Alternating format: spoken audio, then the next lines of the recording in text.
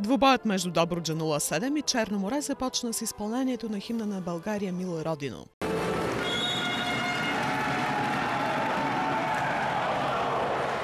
От легионерите за Добричли стартираха завърналият се Мартин Атанасов и разпределителят Добромир Димитров. За гостите от Варна в състава бе Явор Генов. Финалният турнир за Купата на България по волейбол за мъже започна в зала Добротица с регионалното дерби между домакина Добруджа 07 и Черно море Варна. Зелените спечелиха с 3-0 гейма. В отделните части варници останаха на 13, 18 и 22 точки. За финалния турнир в Добрич се класираха 6 отбора, които са разделени в две групи по 3. В потока на Добруджа 07 е още новият шампион на България Нефтохимик. Днес домакините почиват, а отборът от Бургас играе с Черно море. Следващият матч на Добруджа 07 е в четвъртък от 17 часа срещу Нефтохимик. За полуфиналите в събота се класират първите два отбора от двете групи. Решителният матч за трофея е в неделя. Добруджа 07 игра на последните три финала за Купата на България, като веднъж спечели първото място в турнира.